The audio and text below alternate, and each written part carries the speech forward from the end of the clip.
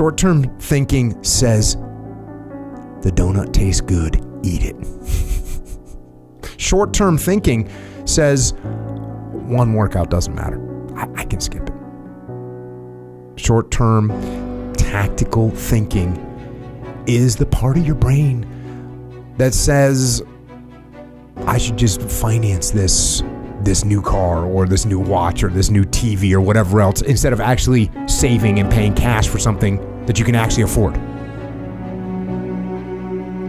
Short short-term thinking encourages you to make short-term emotional decisions that hurt you in the long run. And they definitely don't move you toward your overall strategic goals.